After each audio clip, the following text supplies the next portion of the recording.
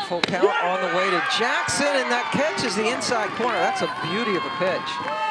60th pitch of the game. Backes one pitch away from striking out the side. Does just that. Licea puts a charge into that one, and North Carolina with the power game. Licea with the two-out, two-run shot gives the Heels the lead. Backes has held them to just one hit through four innings. Right at the knees. Home plate umpire has been calling all game.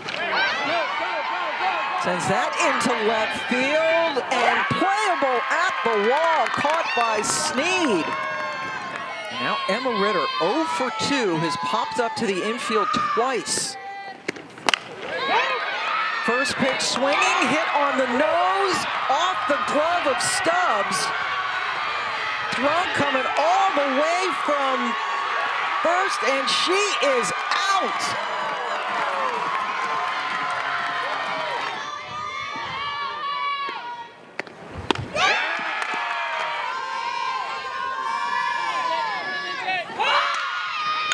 But they're trying to squeeze home the run, but another nice play by the infield. Safe, they have wow. overturned it, and North Carolina has added an insurance run.